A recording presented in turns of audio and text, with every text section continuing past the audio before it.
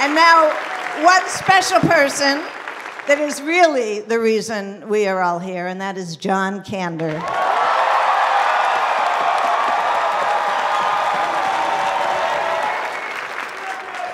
Thank you. There is nothing in the world. I'll cry in a minute.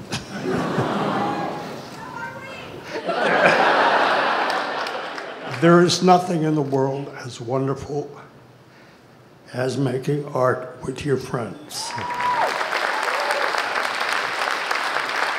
There's one friend who is only sort of missing tonight, and that's my collaborator for 40 years, Fred Ebb. He stopped coming to opening nights very early on because he just couldn't stand it. Freddie, you're here with us tonight, like it or not. Thank you all so much.